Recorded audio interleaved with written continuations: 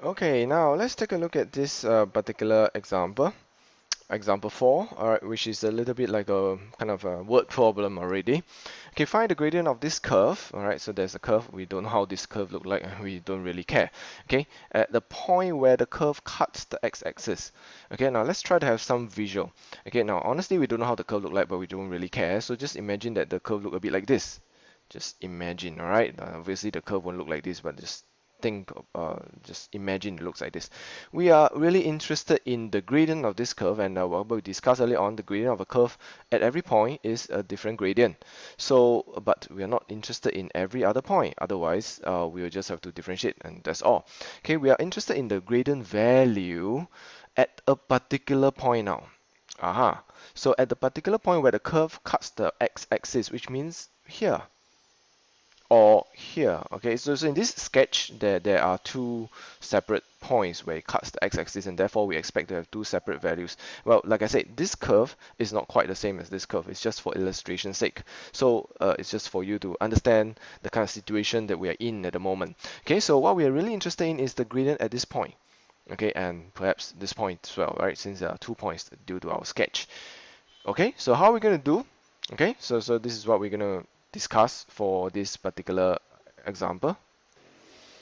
Okay, so since we're talking about the gradient, okay, we definitely need a machine to help us find the value of the gradient, isn't it? So the machine being the dy dx. So um, like I said, uh, when you don't know what to do, all right, you, you just differentiate and it should be pretty safe that you you know you actually get one two marks out for the questions okay so uh, y equals to this uh, curve and uh, you cannot really differentiate the way it is so you got to split it up okay into two separate fractions okay? And at this point I hope you appreciate uh, the the kind of shortcut that we discussed earlier on alright in example 2 so that you can actually differentiate this in a very quick manner okay? So the dy dx will be equal to negative 2 over x squared okay plus 2 over right 2 over x cubed Okay, there you go. You see, you can actually do it in one step. So for those of you who are not too sure how to achieve this, uh, you may want to take a look at example two.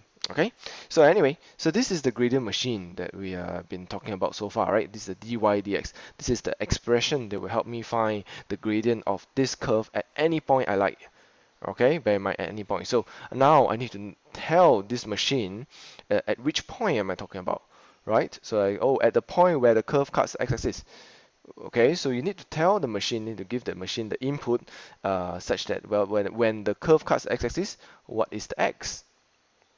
Okay because this machine only understands x. So you got to tell the machine oh you know what? x is equal to blah blah blah and therefore you give me the dy dx value okay? But now we need to figure out what is the x. Okay? That means to say when does this curve actually cuts the x-axis?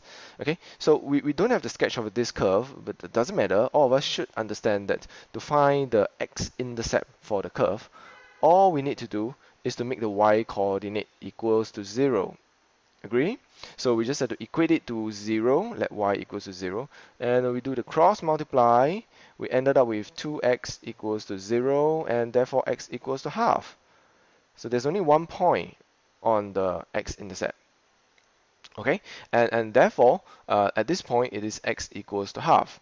Okay, so x equals to half is the point that we're interested in and therefore now we got to tell the machine okay when x equals to half okay what happened what is the value of my dy dx so I got to input this into the machine and the machine will work out the value for me. Well, of course not automatically I wish right? But uh, you still got to work it out yourself. Okay but uh, well things will be a lot easier from here on huh? okay let's take a look. This will be one quarter.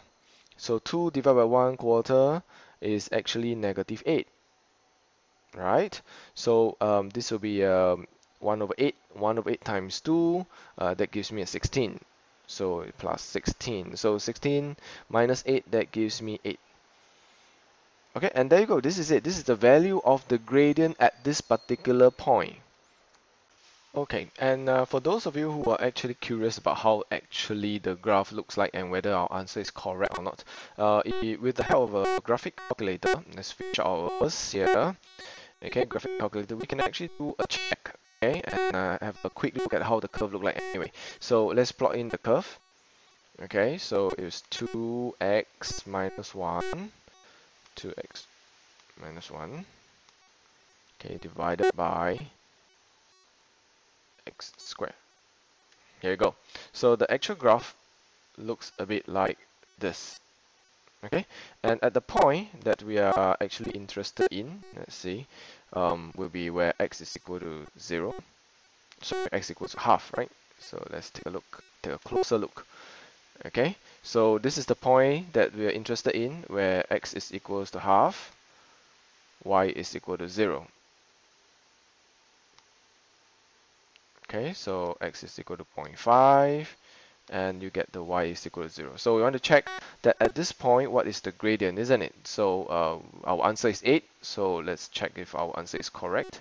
So uh, we go to dy dx, which is 6. Okay, and we put in x as 0 0.5.